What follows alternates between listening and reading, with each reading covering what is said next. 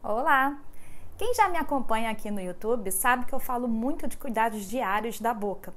Eu, inclusive, tenho uma playlist aqui no canal chamada Cuidados Diários. Nela eu ensino a escovar os dentes do jeito certo, eu ensino a passar o fio dental em criança, eu testo produtos, tudo relacionado à limpeza da sua boca. Mas eu nunca falei de enxaguante bucal ou produtos para bochecho. Ato falho meu, eu reconheço mas nunca é tarde para consertar, né? Aproveitando a deixa, se inscreve logo aqui no canal, clica aqui nesse botão, ativa logo o sino para não perder nenhum vídeo novo. Agora, vamos para o vídeo de hoje. Acompanha!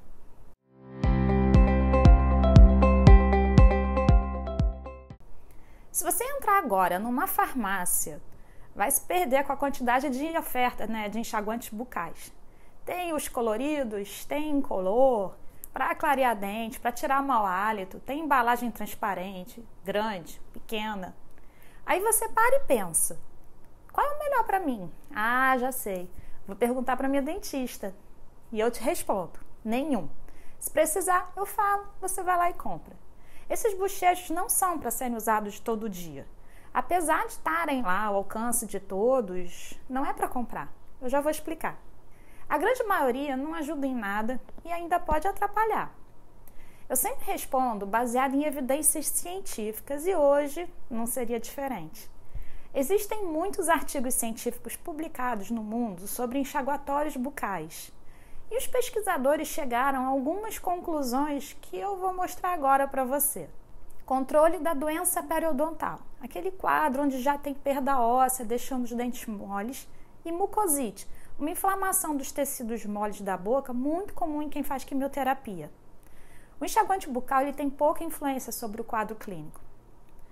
Combate ao mau hálito. Na verdade, pode até piorar por alteração do pH de uma camada depositada sobre a língua chamada de saburra. Efeito branqueador, não tem nenhum. Dureza e a rugosidade de obturações em resina influenciam piorando essa característica. Presença de clorexidina pode amarelar os dentes e alterar o paladar a longo prazo. Toxicidade deve ser usados com cautela. Presença de álcool em algumas marcas gera inflamação nas células dos tecidos moles da boca, como bochecha, gengiva e o céu da boca. Os enxaguatórios certos vão ser escolhidos e indicados por nós dentistas para uma determinada situação e com controle do uso. Eles não devem ser usados diariamente. Outra observação muito importante é que fazer o bochecho com esses líquidos não substitui a limpeza dos dentes com escova, pasta e fio dental. Eu vou deixar aqui um link para a playlist dos cuidados diários. Vai te ajudar a cuidar melhor da sua saúde bucal. Pode assistir à vontade. Agora, voltando ao assunto de hoje. A camada criada sobre o dente, que a gente chama de biofilme, e o tártaro, eles não vão sair com o bochecho. O, bi, o biofilme até sai com a escovação. Ele ainda é uma, uma camada macia, que parece uma massinha esbranquiçada. Mas o tártaro é aquele já tecido duro que só o dentista consegue tirar com uma boa profilaxia e ultrassom. Por isso as visitas preventivas programadas, elas são tão importantes. Agora que você assistiu o vídeo e está sabendo tudo de bochecho para os dentes, pode passar direto por essa sessão da farmácia não vai fazer falta nenhuma e o seu bolso ainda vai agradecer. Se você achou que esse vídeo te ajudou, pode curtir e compartilhar.